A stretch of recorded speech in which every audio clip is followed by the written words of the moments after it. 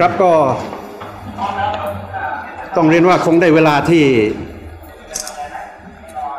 จะต้องมายื่นเรื่องราว ต่อคณะกรรมการปปชเพื่อ เพื่อขอความเป็นธรรมกันสักทีได้แล้ว ก็คงทราบกันอยู่แล้วนะครับว่าเรื่องอะไรครับ ก็เรื่องที่พวกผมซึ่งเป็นสมาชิกสภาผู้แทนราษฎรพรรคประชาธิปัตย์ ยอมให้สภาผู้แทนราษฎรหักเงินเดือนเป็นค่าบำรุงพัก เดือนละสองหมื่นบาท เป็นค่าน้ำค่าไฟค่าพนักงานอะไรก็แล้วแต่ ซึ่งว่าตามจริงก็บริจาคกกันมาเช่นนี้ยาวนานมากแล้วนะครับ อย่างผมมาอยู่พักประชาธิปัตย์38 ปีเข้าแล้วก็บริจาคกันตั้งแต่วันแรกที่เป็นสสเพียงแต่ว่าจำนวนวันนั้นไม่ถึง 20,000 บาท ทีนี้วันนี้พอถึง 20,000 บาทนี่ ทางดีเอสไอเขาก็บอกว่า เอ๊ะอย่างนี้มันผิดกฎหมายนะ ต้องทำเป็นเช็คขีดคร่อม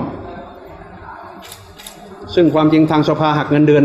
ทางสภาก็ทำเป็นเช็คขีดคร่อม ส่งไปให้พักเป็นที่เรียบร้อยแล้ว พักส่งคณะกรรมการกรกตหมายถึงส่งรายงานให้ได้รับทราบ ว่าเราได้รับเงินค่าบำรุงพักเช่นนี้กกตก็รับทราบว่าถูกต้องมาโดยตลอด ก็ไม่ทราบว่าดีเอสไอท่านไปร้อนวิชามาจากไหน ท่านตั้งข้อหาว่าผิดกฎหมาย เราก็มานั่งคิดเอ๊ะผิดกฎหมายได้ยังไง เอาถ้าสมมติพุทธว่าผิดกฎหมายก็ไม่น่าเป็นคดีพิเศษ เพราะคดีพิเศษมันควรจะเป็นคดีที่มีความสลับซับซ้อนไม่สามารถสืบสวนสอบสวนโดยวิธีธรรมดาได้ไอ้นี่มันง่ายมาก เพียงไปที่สภาผู้แทนราษฎรกับไปที่กกตทั้งสองเรื่องก็ได้หลักฐานครบถ้วนแล้วเราก็โต้แย้งไปที่คณะกรรมการดีเอสไอซึ่งท่านไปมีมติ กำหนดให้คดีนี้เป็นคดีพิเศษ บอกกับท่านไปว่าคดีนี้ไม่ควรเป็นคดีพิเศษ ท่านอาจจะรับฟังข้อมูลข่าวสารมาจากคุณธาริศเพ็งดิตซึ่งเป็นเลขานุการยังไม่ครบถ้วน ขอให้ท่านทบทวนใหม่ ท่านก็ไม่ทบทวน สุดท้ายเมื่อกกตแถลงอย่างเป็นทางการว่ากกตมีมติแล้วว่ากรณีเช่นนี้ไม่เป็นความผิดแน่นอน ก็ขอให้ทบทวนอีก ท่านก็ไม่ทบทวนอีก เมื่อท่านทำอย่างนี้ ก็เลยขออนุญาตตั้งข้อหาท่านไปเลยว่าท่านเป็นเจ้าหน้าที่รัฐละเว้นปฏิบัติหน้าที่ โดยมิชอบเพื่อให้เกิดความเสียหายแก่บุคคลหนึ่งบุคคลใด ซึ่งก็คือพวกเรา อันนี้เป็นข้อหาหนึ่งที่มายื่นต่อคณะกรรมการปปชวันนี้ ข้อหาที่สองยื่นกล่าวหาคุณธาริศเพ็งดิตเอง ในฐานะที่เป็นฝ่ายเลขานุการคณะกรรมการคดีพิเศษ บอกว่าท่านรวบรวมข้อเท็จจริงไม่ครบถ้วนนะ ในขณะที่มาตรฐานทางคุณธรรมจริยธรรม หรือคู่มือในการปฏิบัติราชการของท่านกำหนดไว้อย่างชัดเจนว่า พนักงานสอบสวนดีเอสไอนั้นไม่มีแต่เพียงหน้าที่ที่กล่าวหาคนอื่นเท่านั้น หากยังมีหน้าที่ที่จะรวบรวมพยานหลักฐานเพื่อปกป้อง ผู้ที่ถูกกล่าวหาให้ได้รับความเป็นธรรมด้วย ท่านไม่ทำสักเรื่องทำหนังสือให้ท่านทบทวนท่านก็ไม่ทบทวน มีหนำซ้ำท่านยังไปตั้ง สั่งตั้งคณะเจ้าหน้าที่สอบสวนคดีนี้ ซึ่งถือว่าทำเกินกฎหมาย เพราะพวกเราหลายคนก็เป็นนักกฎหมาย ทุกคนรู้ดีว่าคนที่จะมีอำนาจสอบสวนคดีอาญาได้ต้องเป็นพนักงานสอบสวนที่ชอบด้วยกฎหมายเท่านั้น ไม่ใช่อยู่ๆจะตั้งใครขึ้นมา ซึ่งบางคนก็มีความรู้แต่เพียงทางธุรการเท่านั้นกรณีนี้ก็เลยถือเป็นข้อกล่าวหาต่อคุณทาริศเพ็งดิตว่าเป็นเจ้าพนักงานละเว้นการปฏิบัติหน้าที่ หรือปฏิบัติหน้าที่โดยมิชอบทำให้พวกเราได้รับความเสียหาย ข้อหาข้อสุดท้ายตั้งกับตัวพนักงานสอบสวนของดิต่อตั้งกับคณะเจ้าที่สอบสวน ที่คุณทาริศแต่งตั้ง คือคุณนิรันดร์อดุลยศักดิ์ยศอะไรผมก็จำไม่ได้แล้วซึ่งเป็นตำรวจก็ควรจะรู้กฎหมายเหมือนกัน ว่าคนที่จะมีอำนาจสอบสวน คดีได้อย่างพนักงานสอบสวนสอบสวนนั้น ต้องเป็นพนักงานสอบสวนผู้รับผิดชอบ จริง ๆ เท่านั้น ไม่ใช่เจ้าหน้าที่คณะสอบสวน ก็เตือนท่านไปตั้งแต่ต้นเหมือนกันว่าท่านไม่มีอำนาจนะ ให้หยุดยั้งการกระทำเสีย ท่านก็ไม่หยุด นัดให้พวกเราไปครั้งแล้วครั้งเล่าจนสุดท้ายถึงขนาดออกหมายเรียก ให้ไปพบท่านให้ได้ก่อนวันที่สามสิบเอ็ดซึ่งก็คือวันมะรืนนี้ กรณีเช่นนี้ก็เลยถือได้เช่นเดียวกันว่าท่านก็เป็นเจ้าหน้าที่ของรัฐที่ปฏิบัติหรือละเว้นปฏิบัติ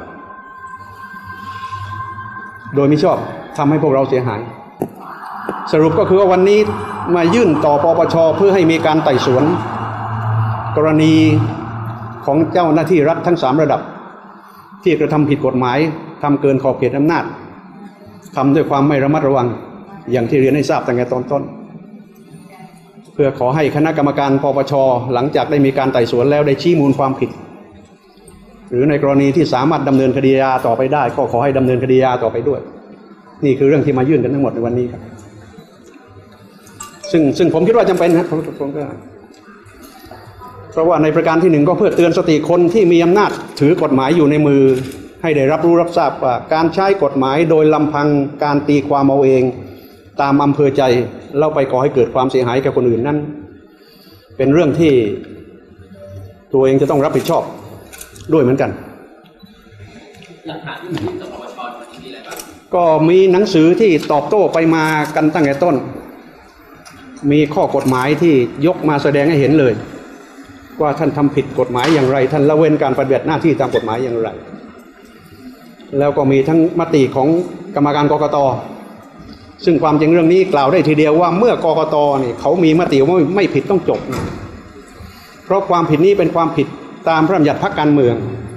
คนที่ใช้และบังคับกฎหมายพรรคการเมืองก็คือกกต โดยนายทะเบียนพรรคการเมือง ก็เมื่อขนาดคนใช้กฎหมายคนรักษาการตามกฎหมายบอกก็ไม่ผิดแล้วนี่ก็ยังไม่เข้าใจเหมือนกันว่าทำไมคนภายนอก ไม่ว่าจะเป็นคณะกรรมการคดีพิเศษ ไม่ว่าจะเป็นคุณทาริกเพ่งดิตหรือคุณนิรันดร์ดุลยาศักดิ์ก็เหมือนกัน กลับบอกว่าผิดไปซะอีก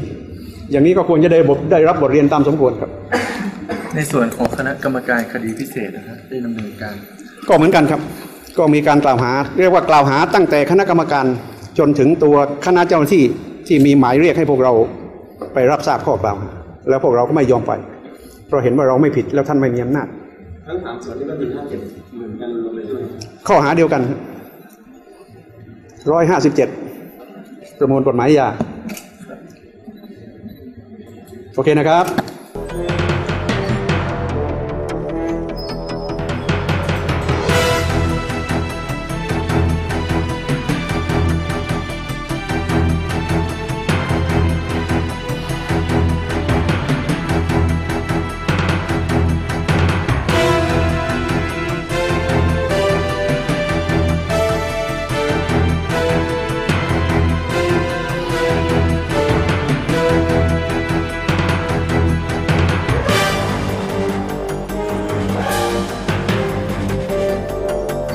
ได้อย่างไม่ต้องสงสัยเลย เพราะกรณีอย่างนี้ก็อย่างที่พวกหนูฟังก็เข้าใจแล้ว ว่าถ้าลงบริจาคเงินในพรรคการเมืองเป็นค่าเอ่อให้ให้สภาหักเงินเดือนในพรรคการเมืองเป็นค่าบรุงพรรคผิดกฎหมายด้วยแล้วก็ประเทศนี้ก็อยู่กันลำบากหรือต้องรอยนักการเมืองไปโกงเอาเงินเข้าพรรคหรือย่างไรที่ท่านร้องเรียนมาเนี่ยอยู่ในอำนาจหน้าที่หรือไม่อย่างไร ถ้าอยู่ในอำนาจหน้าที่จะรับไปพิจาท่านก็จะได้มอบแล้วก็โอเคก็ไปตรวจดูหลักฐานต่างๆที่ยื่นเข้ามาว่าเพียงพอไหม นะฮะถ้าเพียงพอก็ท่านก็พิจารณาได้เลยว่าจะรับหรือไม่รับอย่างกรณีของดีไซน์นี่เข้าขายที่ปปชสามารถครับอยู่แล้วท่านนี่อยู่แล้วขออนุญาตนะครับถือว่าเป็นเจ้าหน้าที่ของเรา